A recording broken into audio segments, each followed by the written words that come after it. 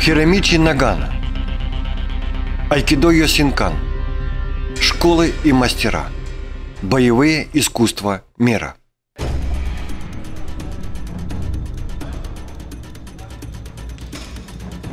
Хиромичи Нагана – японский мастер боевых искусств. Восьмой дан айкидо Йосинкан. Пятый дан дзюдо. Второй дан годзирю карате. Первый дан кендо. Первый дан кемпо. Первый дан дзюдо.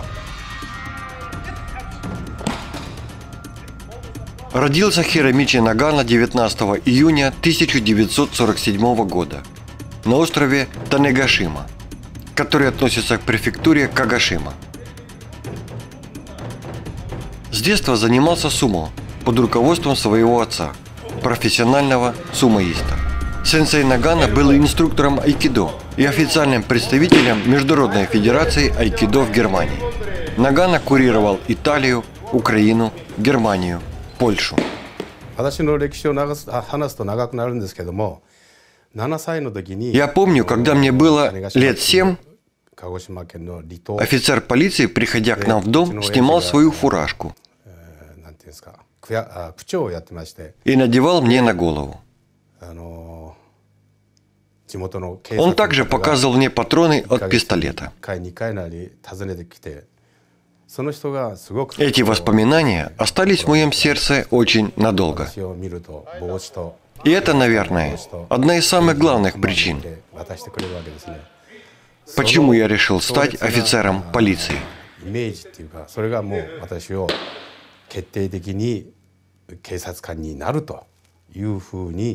Э, 出会いでした。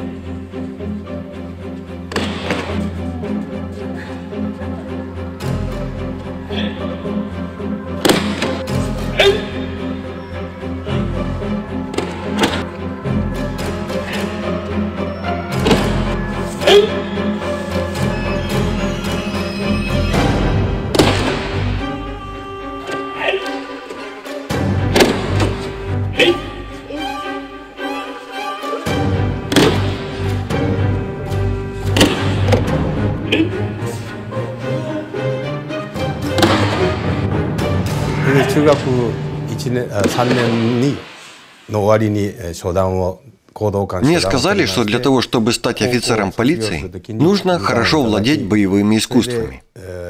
Особенно распространенными в то время были кендо и дзюдо. 職したわけですけども И с 13-летнего возраста, когда я перешел в среднюю школу, я стал заниматься 段 дзюдо. っていうものがありまし В て 15 лет я получил первый дан по кадакан дзюдо. А ко времени окончания школы, в возрасте 18 лет, я получил второй дан. После этого я стал офицером полиции. И я поступил на службу в Токийском департаменте полиции, и там необходимо было снова пройти тренинг по боевым искусствам. И я начал сначала, с уровня белого пояса.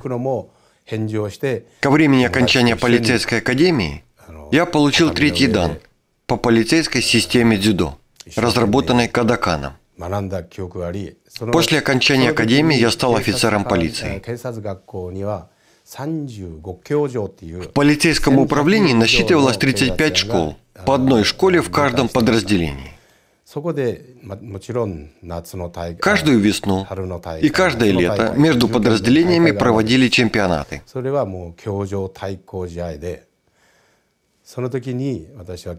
И моя команда завоевала третье место среди 35 школ. И мне был выдан сертификат на 1100 учеников. И это была одна из главных причин, почему я решил стать инструктором боевых искусств при департаменте полиции.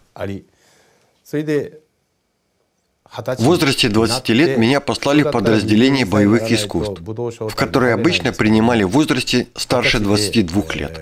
Но мой случай был исключительным, потому что я добился очень многого в дзюдо. И до тех пор, пока я не ушел из полиции, я продолжал преподавать там дзюдо. 学んでいました。まああの1972年にミュンヘンオリン В ピックが 1972 году в Мюнхене должны были проходить Олимпийские игры. И поэтому за 2-3 года до этого многие иностранцы приезжали в Японию, чтобы обучаться дзюдо. Но в то время единственным местом, где люди могли тренироваться в дневное время, было отделение полиции. Поэтому очень много иностранцев посетило отделение боевых искусств при Токийском департаменте полиции. Там я и познакомился с многими иностранцами. И с некоторыми из них я даже подружился, особенно с немцами. Многие из них приглашали меня приехать в Германию, чтобы начать там преподавать дзюдо. Но в то время я серьезно об этом не думал. Моим учителем был Тосио Маэда. Он был один из сильнейших дзюдоистов в полицейском департаменте. К сожалению, он умер, когда стал шеф-инструктором. И это был одним из тех событий, которые заставили меня задуматься о том, чтобы сменить карьеру. Я был глубоко шокирован и захотел заняться чем-нибудь другим. Открыть, так сказать, свои глаза и поменять образ жизни. Поскольку очень многие люди просили меня приехать за границу и начать преподавать дзюдо, то в возрасте 25 лет я решил уйти из полиции и поехать посмотреть, что происходит в западных странах. Поэтому я купил билет в Германию и покинул Японию.